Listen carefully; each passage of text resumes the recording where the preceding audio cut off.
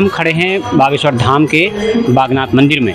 इस मंदिर की दूर दूर तक आस्था है। दूर दूर से श्रद्धालु इस मंदिर के दर्शन के लिए आते हैं और उत्तरायणी मेला हो, महाशिवरात्रि का पर्व हो, हर पर्व में यहाँ पर बड़ी संख्या में श्रद्धालु यहाँ पहुँचते हैं, यहाँ मनौती मांगते हैं।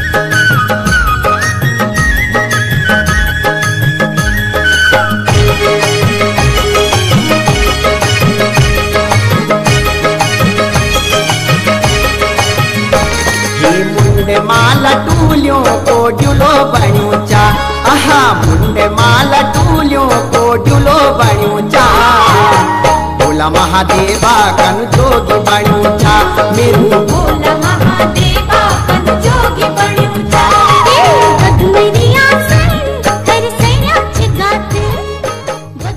मुझे बताएँ कि ये बागनाथ मंदिर बड़ा पौराणिक मंदिर है।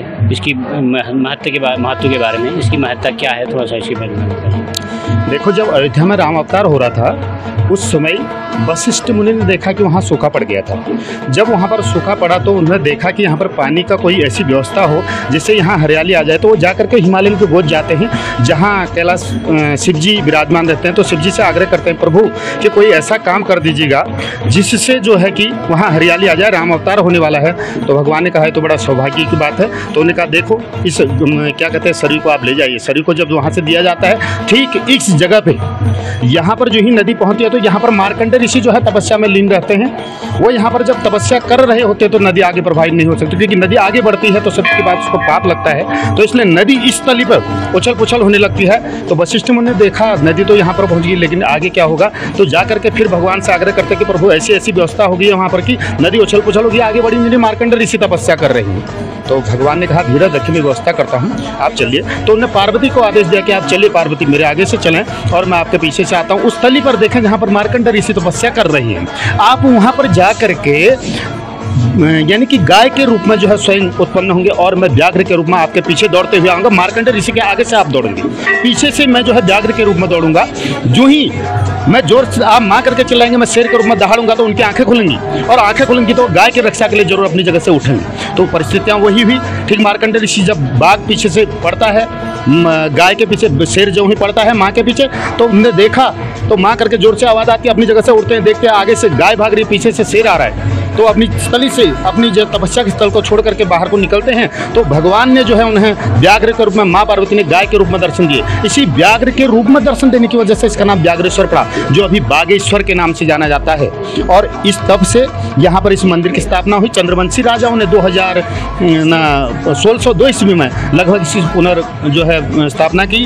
और तब से यह प्रथा परंपरागत चली आई है। यहाँ पर जो है शिव मंदिर की बहुत मान्यता है। लोग दूर दूर से यहाँ पर आते हैं और यहाँ पर तीर्थ स्थल का भी बड़ा महत्व है। सरयू, गोमती, सरस्वती को जो संगम है, इसकी बड़ी महत्ता है। माघ के, मकरार के, माघ के महीने में जो मेला इसके यहाँ पर लगता है, इसका भी बड़ा महत्व है। और जो शिवरात्रि आती है, शिवरात्रि के पर्व पर तो यहाँ बहुत बड़ा मेला लगता है। इसीलिए शिव की पूजा हर जगह शिवरात्रि को होती है। लेकिन व्याघ्रेश्वर में जो शिव जी की पूजा होती है एक अपरंपार है। और इसकी दृष्टि में जो भी है तो जो संपूर्ण नगर बसा है, वो सिर्फ़ बागेश व्याघ्रेश्वर के नाम से बसा है।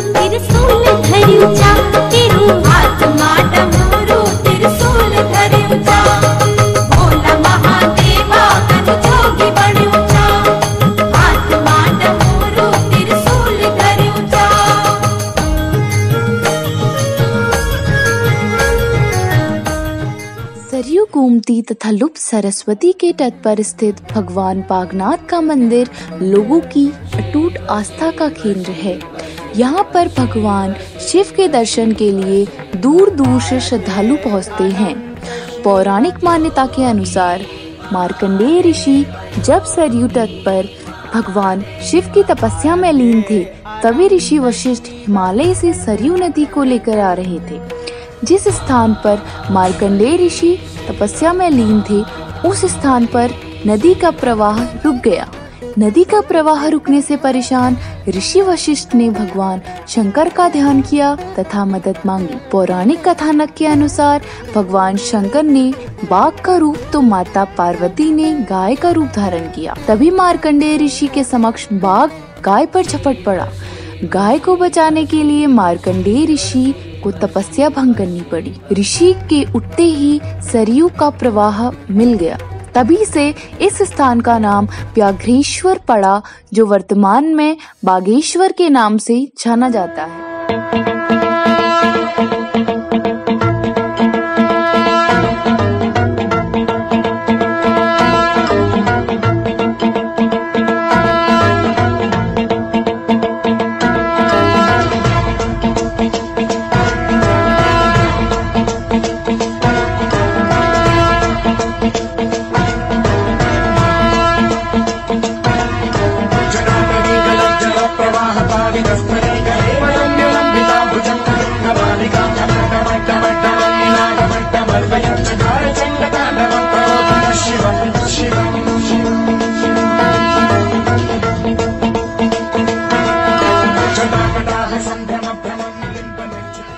उत्तरायणी मेले सहित महाशिवरात्रि पर्व पर बागनाथ मंदिर में बड़ी संख्या में श्रद्धालु यहाँ पहुंचकर भगवान शिव के दर्शन करते हैं।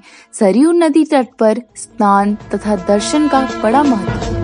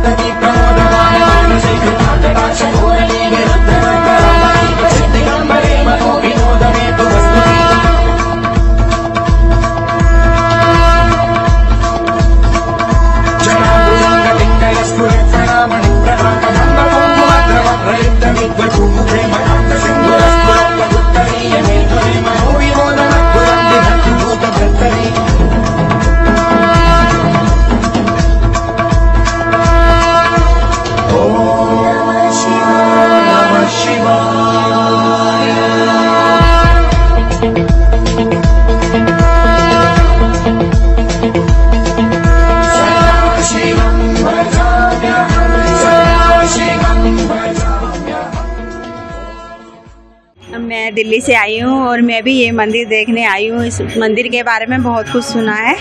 यहाँ पर जो कुछ मनोकामना पूरी होती है जो भी कुछ भक्त मांगते हैं उनकी सब मनोकामना पूरी होती है। आप कहाँ से आए कितनी दूर से यहाँ पर मैं दिल्ली से आई हूँ दिल्ली करोलबाग से आई हूँ मैं। परिवार के साथ आई हूँ? हाँ जी हाँ जी।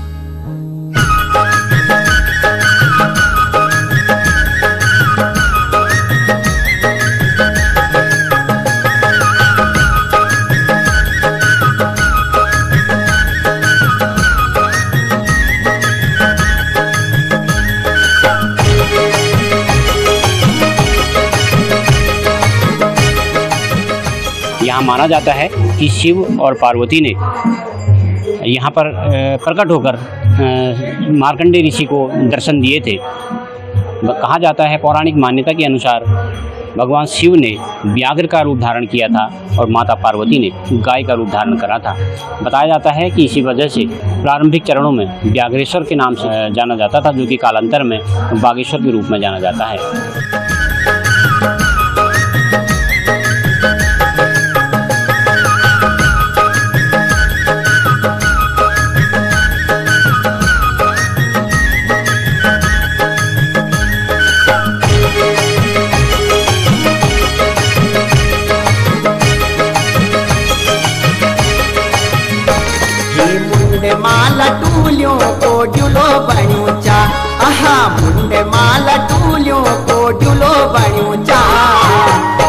महादेवा कनु जोगी बणूचा मेरू